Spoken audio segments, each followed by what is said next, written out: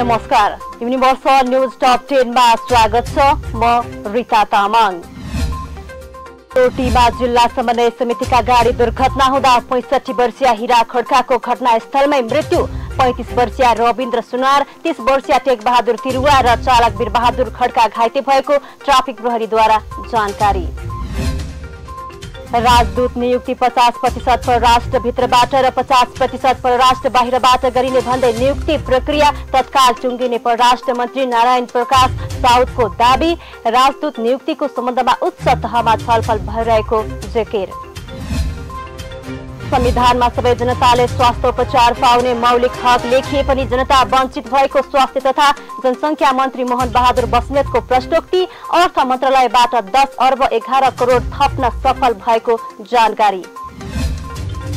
कुवेत जान लागेका एक सय जना श्रमिकलाई अध्यागमनले गन्तव्य मुलुक जान नदिएर फर्कायो। उनीहरूले पेश गरेको कागज पत्र देखियो। शङ्कास्पद अध्यागमन नियमावली दुई हजार एकाउन्न अनुसार सम्बन्धित कागजातहरू शङ्कास्पद देखिएको हुँदा प्रस्थान अनुमति नदिएको उल्लेख।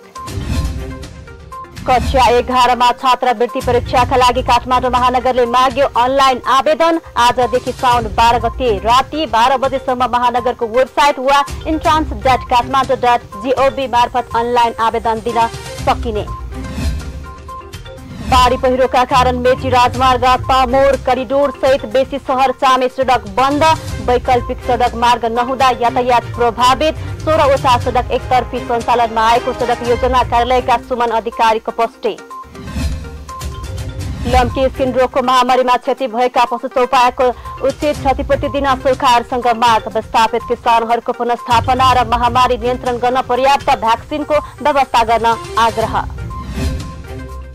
आगामी दुई दिन कोशी र बागमतीमा भारी वर्षाको सम्भावना। तराईमा हावाहुरीको साथै बाढीको जोखिम रहेकाले उच्च सतर्कता अप्नाउन मौसमविदको आग्रह।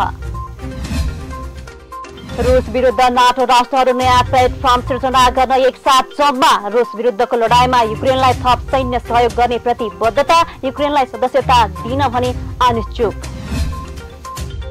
अन्तर्राष्ट्रिय मैत्रीपूर्ण महिला फुटबलको पहिलो खेलमा आज नेपाल र बङ्गलादेश खेल्दै खेल बेलुका पाउने छ बजेबाट सुरु हुने नेपाल बलियो टोली रहेकाले खेल प्रतिस्पर्धात्मक हुने बङ्गलादेश मुख्य प्रशिक्षक रहमान लिटुको भनाई।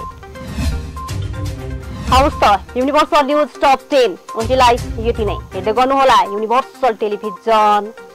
नमस्कार।